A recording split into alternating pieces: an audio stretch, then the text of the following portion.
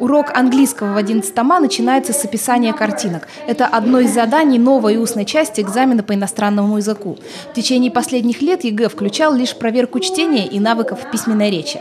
Трудно говорить об уровне владения языком, если не проверять устную речь, потому что устная речь – это именно то, что мы и делаем, собственно говоря, с помощью как родного, так и иностранного языка. А, единственная сложность, наверное, которая возникает, это техническая сложность, как можно провести эту часть экзамена. Особенность нового формата ЕГЭ в том, что беседовать выпускнику предстоит не с учителем, а с монитором компьютера. Помимо описания и сравнения картинок, испытания включают в себя чтение текста и составление вопросов. Ответы учеников будут записываться на электронные носители, а после обрабатываться экспертами. В содержательном плане, э, наверное, неожиданности быть не должно, поскольку содержание определяется программой.